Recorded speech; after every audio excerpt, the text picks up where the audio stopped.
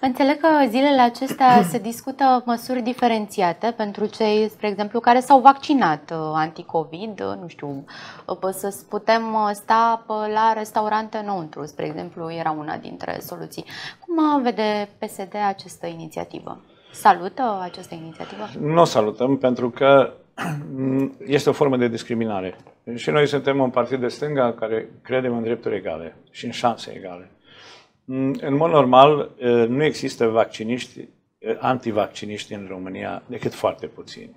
Și ideea de a nu te vaccina, de exemplu, a apărut mai degrabă după bâlbâiele guvernului și după bâlbâiele de comunicare pe care le-a avut guvernul în ultima perioadă.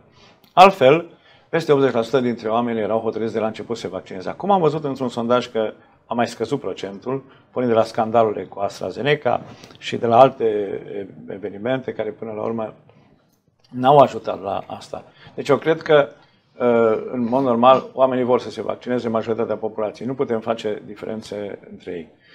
Dar nu putem face diferențe atât de mari între ei și din următorul motiv. Nu au toți șanse egale să se vaccineze. Pentru că în momentul acesta sunt oameni sute de mii de oameni, de exemplu, au renunțat la AstraZeneca. Am înțeles, 300 de mii de oameni programați au renunțat. Nu avem vaccinuri. Sunt, avem centre de vaccinare care sunt goale. Am primit eu astăzi la Senat, am primit doi primari care mi-au spus că și-au înființat centre de vaccinare și nu li s-au mai dat linie de vaccin în ultima perioadă și ei stau cu spațiile destinate vaccinării, le-au modernizat, au avut spații noi, Uh, stau și așteaptă vaccin și nu li se dă vaccin. Ni se spune că va veni, vor veni doze de vaccin, 5 milioane de doze de vaccin, dar dacă alea vin deodată, o să expire vaccinul, pentru că nu le putem face, că nu avem capacitatea să facem atâta Și vaccin. personal, da. Exact. Nu avem personal. În alte țări, de exemplu, am văzut în Austria, în alte locuri, uh, farmaciile uh, fac acest serviciu. La farmacie te vaccinează și face, îți dă chiar adeverință. Am văzut adeverința unui prieten meu luată la, la Viena. La noi ar fi trebuit convinși și poate că nu numai convinși, uh, chiar putea fi o obligație, pentru că totuși suntem într-o, uh, într-o bătălie pentru a vaccinare. Medicii de familie să le se dea resurse, să fie plătiți să fie convinși să uh, facă vaccinări. Am înțeles că și-au exprimat, am văzut o statistică dimineața, doar, doar 30%. 30% dintre oameni uh, și-au expus această dorință. Deci cred că, uh, ne fiind condiții egale, nu putem să facem această discriminare. Și mai ales datorită unui, unei chestiuni de fond. Uh, în toate prospectele vaccinului de toate felurile de acum, toate tipurile de vaccin, scrie că nu asigură uh, imunizarea. Și mai este un lucru valabilitatea unui vaccin. Șase luni, înțeleg. Am văzut. Încă nu știm sigur, dar uh, studiile experimentale spun că ar fi da. sigur șase luni, chiar să fie un an.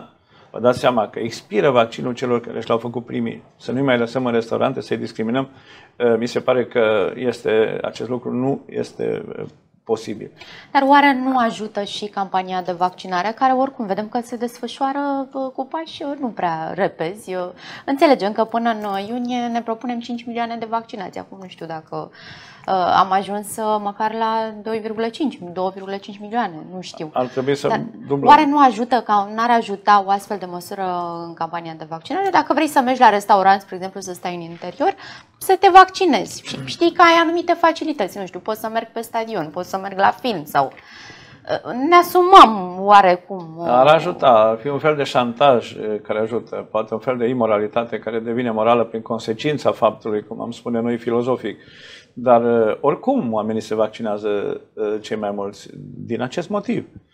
Cei mai mulți dintre oameni se vaccinează și eu m-am vaccinat și o parte din raționamentul pentru care m-am vaccinat N-a fost numai faptul că mă întâlnesc cu foarte mulți oameni ca politician, uh, mă întâlnesc tot timpul cu mulți oameni și nu vreau să pun în pericol pe nimeni și nici alții să mă pună în pericol pe mine, dar o parte din motivația mea pentru vaccin a fost aceasta. Să pot circula liber în Europa, să pot să mă urc în un avion oricând, avem foarte multe deplasări.